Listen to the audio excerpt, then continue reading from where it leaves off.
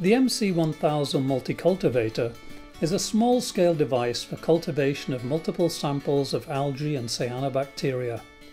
The new MultiCultivator software is a practical tool providing a user-friendly and dynamic interface for visualization and processing of the recorded data, as well as entire control of the MC1000 device.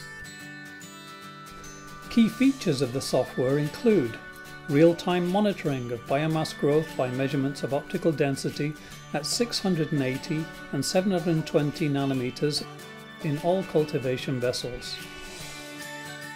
Automated customization of light and temperature protocols or programming of finely regulated protocols driven by JavaScripts.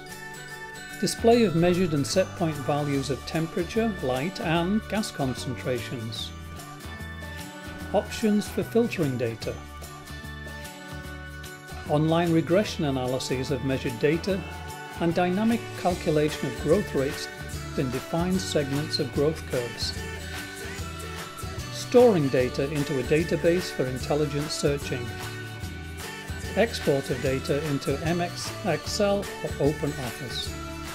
The software supports remote control access of all multi-cultivator functions from any location. Software is available in both basic and advanced versions.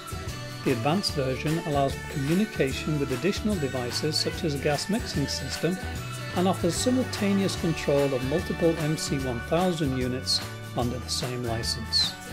The new MC1000 software by Photon Systems Instruments.